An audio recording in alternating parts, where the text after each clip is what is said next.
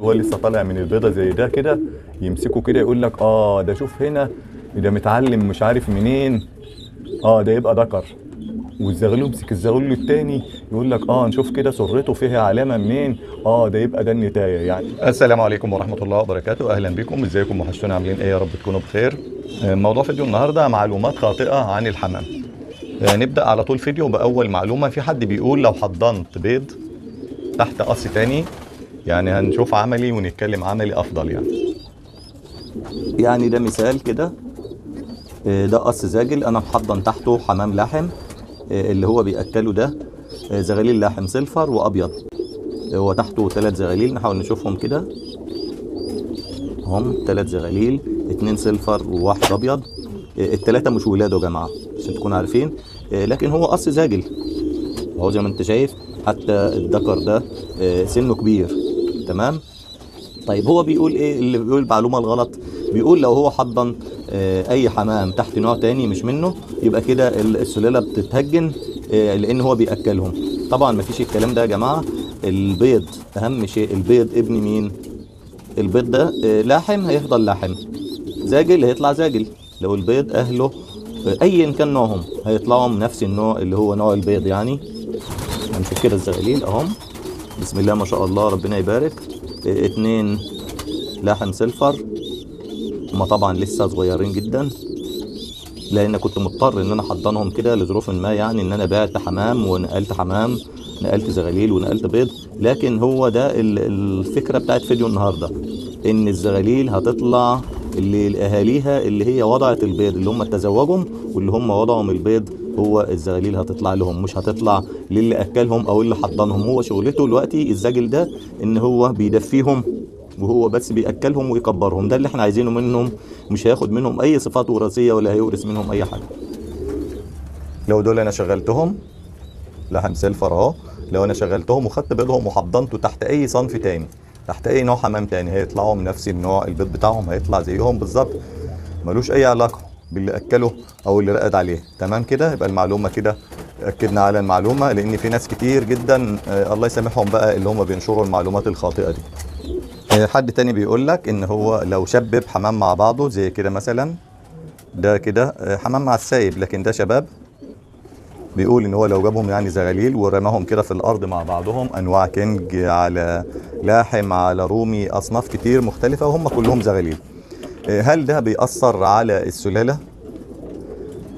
آه، طبعا هو بيقول إن هو ده بيأثر على السلالة لكن أنا بقول له آه، مفيش أي تأثير على السلالة طالما إن هم لم يصلوا لسن التزاوج لأن هم لو وصلوا لسن التزاوج أنت بس ابدأ احبس زي ما أنا بعمل كده. كل قص مع بعضه نفس النوع لكن على السايب طبعا لو اتجوزهم هينتاجهم هيطلع ملخبط. لو هم على السايب كده واتجوزهم وباضهم وحصهم مع بعض طبعا إنتاجهم هيتلخبط. دي المعلومة اللي أنا عايز أكد عليها. تمام كده؟ يبقى الاختلاط هيجي لفين؟ الاختلاط هيجي لاولاد الحمام ده. لو الحمام ده اتجوز من بعضه يعني زاجل مثلا مع لحم هيطلع خليط. أما هم تربيتهم مع بعض كده من غير تزاوج مفيش فيها أي مشكلة لغاية سن التزاوج تمام كده؟ واحد تاني بيقول معلومة برضو خاطئة. اللي هي إن الجوز الزغاليل الإخوات زي دول كده لازم يكونوا ذكر وانتايه طبعا هي معلومة خاطئة زي ما قلت لك قبل كده. ليه بقى؟ هو بياخدها يقول لك إيه أنا انت لما تيجي تحط إيدك كده الزغلول ده هو اللي هيهجم عليك الزغلول ده هادي والزغلول ده يبقى انتايه الزغلول اللي هيهجم عليك ده يكون ذكر. آه، لدرجة إن في ناس يمسك الزغلول كده يقلبه من هنا يقول لك ده سرته ما أعرفش شكلها إيه ده يبقى إيه يبقى ذكر والتاني سرته مش عارف فين ده يبقى انتايه طبعا ما فيش الكلام ده خالص. الكلام ده كلها تكهنات واجتهادات ما فيش الكلام ده. يبص لها من هنا كده يقول لك ده سرته ده شكله ذكر ده شكله انتايه طبعا آه، كل ده كلام آه، تكهنات. مفيش حد يعرف الزغايل يا جماعة حتى لو هي زغايل كبيرة حتى والله بنغلط في الحمام الشباب. لذلك أنا ما برضاش أبيع لحد حمام شبابات إلا إذا أقول له آه، أنت ونصيبك. أنا أنا لا أبيع إلا حمام من السلاكه كده مجوزه ومجربه حتى ابقى مكشف على بيضه. آه، ده للتاكيد يعني. عشان إيه؟ نتأكد إن هم ذكر وانتايه وفي نفس الوقت نتأكد إن هم بيطلعوا بيض مخصب. لذلك ما باشي ابدا ابدا آه، الشباب من زمان يعني. لأن فيها مشاكل حد خد شباب ويقول لك إيه طلع فيهم ذكرين ذكر زيادة طلع فيهم نتايتين لا آه، بنبعد عن المشاكل دي ونبيع آه، من السلكة بس. فما فيش حد بيعرف الزغاليل ابدا ابدا يا جماعة. إذا كانوا بيغلطوا وبنغلط إحنا نفسنا أصحاب القنوات والناس كمان المحترفين في الحمام والله بيغلطوا في الذكر والنتاية في الحمام الكبير كمان. برضه اللي بيقول إن هو بيعرف الذكر والنتاية برضه بيقولوا برضه معلومة خاطئة عن الزغاليل الذكر والنتاية. يقول لك إن الجوز الزغاليل دول لازم يطلعوا ذكر وانتاية. عشان هم زغاليل إخوات لازم يطلعوا ذكر وانتاية. آه، هل الكلام ده صحيح؟ لا طبعا مش صحيح. ممكن يطلعوا ذكر وانتاية فعلا وممكن يطلعوا نتايتين ممكن يطلعوا ذكرين. الكلام ده يعني احتمال كبير كل الاحتمالات دي متاحة. ما فيش حاجة اسمها احتمال أكتر من التاني. تمام كده؟ ليه بقى؟ ممكن القص ده اللي انت شايفه قدامك ده آه، بيطلع نتايتين تمام؟ ممكن القص ده يطلع ذكرين محدش عارف. الله أعلم. ممكن القص ده يطلع ذكر وانتايه مرة تانية ممكن يطلع آه، ذكرين مرة تانية ممكن يطلع نتايتين زي ما بقول لك انت ونصيبك. محدش يعرف. محدش يعرف. لدرجة إن شفت ناس الزغلول وهو لسه طالع من البيضة زي ده كده يمسكوا كده يقول لك آه ده شوف هنا ده متعلم مش عارف منين. آه ده يبقى ذكر. والزغلول يمسك الزغلول التاني يقول لك آه نشوف كده سرته فيها علامة منين. آه ده يبقى ده النتاية. يعني هو آه بيأكد إن المعلومة إن هم لازم يطلعوا ذكر وانتايه والله يا جماعة ما في الكلام ده. والله ما في الكلام ده. موضوع ذكر وانتايه ده مش شرط ابدا ابدا إن هم يطلعوا ذكر وانتايه ممكن ذكر وانتايه وممكن يطلعوا أي حاجة تانية. مش شرط ذكر وانتايه ولا ولا في حد بيعرفهم كمان كده؟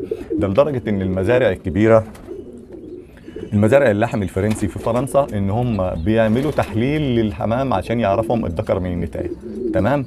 وفي شركات تانية بتجيب الفاتح اللي هو فاتح الانف والاذن والحنجره اللي هو الطبيب بيكشف بيه يضعه في فتحة المخرج بتاعة الحمامة ويكشف يشوف ده ذكر أو نتاية. يشوف هو ذكر أو نتاية بالفاتح بتاع الأنف. بيفتح كده ويبص. بس إمتى برضه في مرحلة التزاوج؟ عارف هم شباب ما بيبانش كمان بالفاتح ده. يعني شوف إزاي؟ آه، يبقى آه، بنأكد بس على المعلومات المهمة عشان ما حدش يقول لك أو يضحك عليك واللي بيعرف بالمسمار. يحط المسمار كده فوق الحمامة ويقول لك دي ذكر ولا انتاية والحاجات اللي هي ديت. كل دي اجتهادات. آه، هنبدأ نجوز أهو بإذن الله من اللحم السلفر اللي هو من الإنتاج. عشان نزود الإنتاج لسه ده تاني قص هيشتغل يا جماعة عندي إن شاء الله بإذن الله لكن مش هنعرض للبيع حاليا لأن بوري لك بس ده من إنتاج القص اللي أنت شفته اللي هو عمل جدل كبير لما حد قال لي إن مفيش حمام لحم سلفر إلا الحمامة اللي هو التهجينة متهجن على زاجل وأنا بأكد تاني إن في لحم سلفر آه، الشركة الفرنسية أنتجته آه، طبعا في شخص دخل يجادل جدال شديد جدا بلهجة أو زي ما يقولوا شديد اللهجة طبعا هنرد عليه بالمستندات. وبقول لو عندك دليل طبعا بنجهز له المستندات والكتالوج بتاع الشركة الفرنسية اللي هي أنتجت أنواع ألوان مختلفة من الحمام اللاحم آه، سواء آه، سيلفر أو سواء ملون أو أحمر أو أبيض فاحمر آه، كل الألوان دي إن شاء الله هنقول لك عليها وهوري لك الحاجات دي كلها إن شاء الله في فيديو قادم إن شاء الله آه، بالتعاون مع أخونا إن شاء الله أحمد بركات اللي هو في الكويت آه، هو أرسل لي عدة فيديوهات قصيرة كده من الشركة نفسها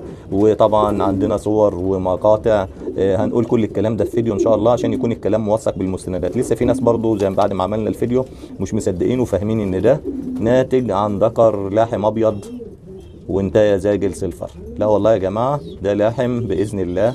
لاحم جاي من فرنسا نفسها من الشركة الفرنسية نفسها لاحم ال silver الأصلي الأساسي مش اللي هو المهجن في مصر المصري.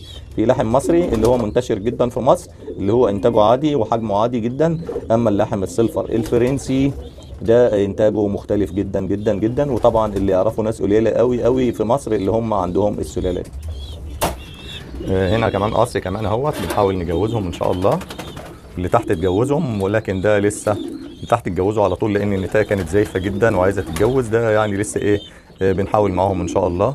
وربنا يبارك إن شاء الله. لأن طبعا أنا بحضن من اللحم السلفر ده. آه، بس كده أكون خلصت موضوع فيديو النهارده. لو عجبك الفيديو اعمل لايك واشترك في القناة لو لسه ما اشتركتش وفعل زر الجرس علشان يوصلك باقي فيديوهاتنا. والسلام عليكم ورحمة الله وبركاته.